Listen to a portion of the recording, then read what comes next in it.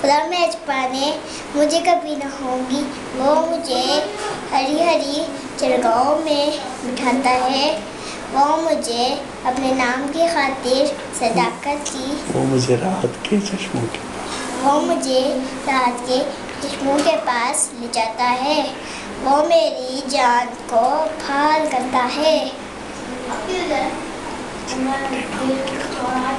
वो मुझे अपने नाम के खातिर सदाकत की राहों पर ले चलता है, बल्कि खामोद की साया की वादी में से मेरा गुजरो मैं किसी मुला से नहीं डरूँगा, क्योंकि तू मेरे साथ है।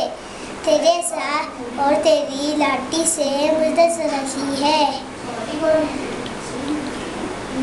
मेरे दुश्मनों के रूबरू मेरे आगे दस्तरखान बिछाता है बिछाता है बिछाता है। तूने मेरे सर पे तेल मला है। मेरा प्याला रबलेज होता है। यकीनन मलाई और रहमत उम्र भर मेरे साथ साथ रहेगी और मैं खुदावन के घर में सुकूनत करूँगा। आमीन।